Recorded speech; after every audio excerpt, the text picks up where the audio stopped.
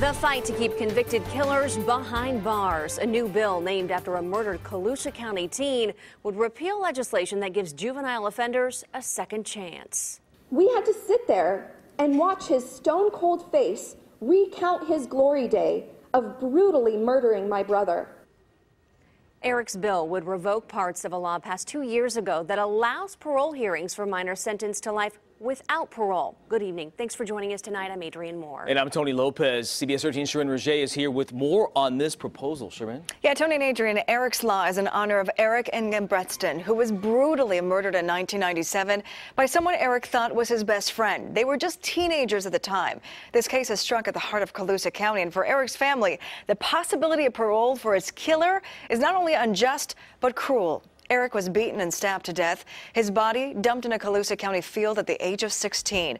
Nathan Ramazzini was convicted of first-degree murder and sentenced to life in prison without the possibility of parole. But Ramazzini, now 38, will be eligible for parole because of legislation that was passed a couple years ago that essentially says that anyone that was sentenced as a juvenile under the age of 18 and after 25 years of serving time will get early parole. Erik's law is set to change that. Having to endure our nightmare repeatedly only serves to victimize and re traumatize us. We are left questioning when and how we are ever supposed to heal.